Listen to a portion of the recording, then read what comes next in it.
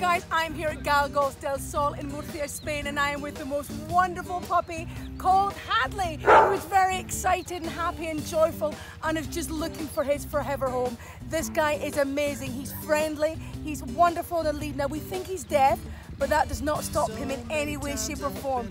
He's so good with people, with other dogs, and he would make the most wonderful companion in somebody's home. So come on, somebody, give this amazing, wonderful Hadley a chance. What do you think, Hadley?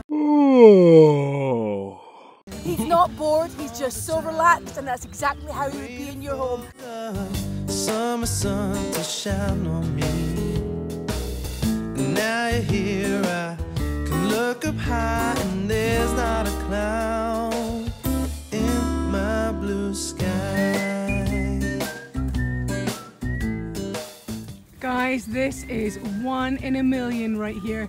Obviously Ben is as well, but I'm referring to the dog.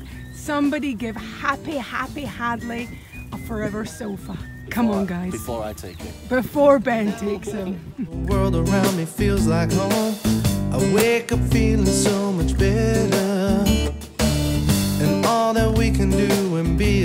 reality.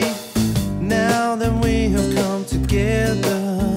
And all the time I've been waiting for the summer sun to shine on me.